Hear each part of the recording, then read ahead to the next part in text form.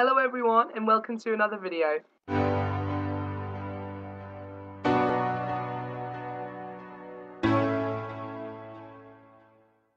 This video is going to be my first part of my Q&A video. As you all know, I just hosted the giveaway and to enter the giveaway you had to ask a question.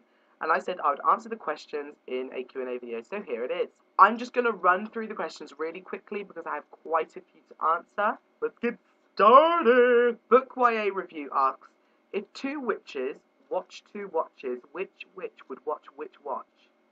Uh, number one book reviewer, which type of hairstyler do you use?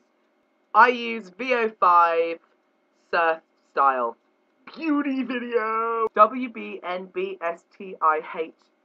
Soft, which I think's Claire, asks, if you could read only one book for the rest of your life, which one would you read? I'd read Beautiful Redemption because that book just makes my whole body break in half.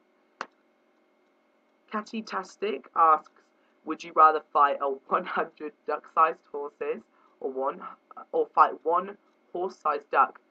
One horse-sized duck because I think duck, ducks look like a stupid animal. But and yeah.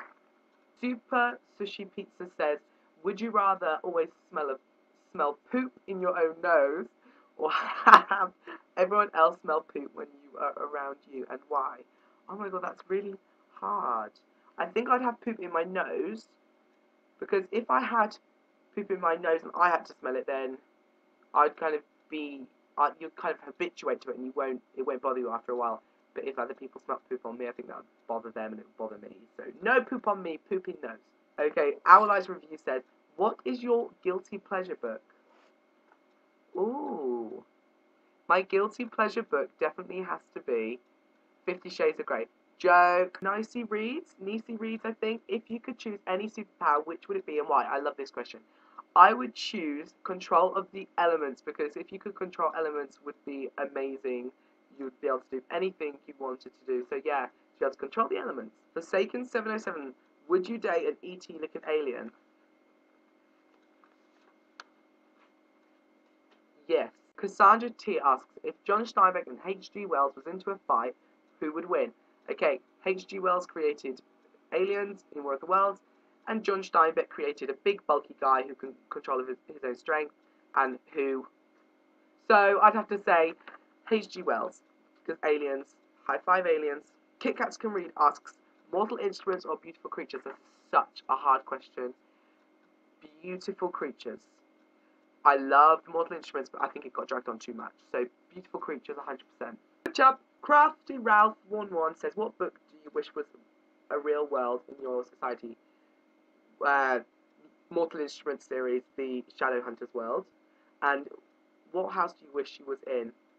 Girl. Ravenclaw. The book Jazz. If you could live in any book, which would you choose? Mortal Instruments. Because I would want to be a Shadowhunter. Obelish, O-B-E-L-I-S-H-94 says, what book character do you want to punch in the face? Mm, Anastasia Steele. Ryan Hart's book says, you can only choose one piece of cutlery for the rest of your life. What would it be? Mm. Ms. Alexa Phi says, if you could be a character in any book, which would you be and why? Mm, Harry Potter. Stay for life. What's your favourite food? You. Little Book Owl, do you love me? Yes. no. Martha Faye, if you were a caster, do you think you'd be claimed for the light or the dark? Ooh, this is a good one. I would say dark. Taylor J. Ross, what celebrity would you trust to give your book recommendations? Kim Kardashian. Thank you guys for watching this video. I'm really sorry about this bit of light here. I just want to kind of pinch it and remove it. Ugh. But yeah, thanks for watching. I hope you liked the video. I will be doing the second Q&A in the middle of February, so keep your eyes out for that, and I'll see you soon.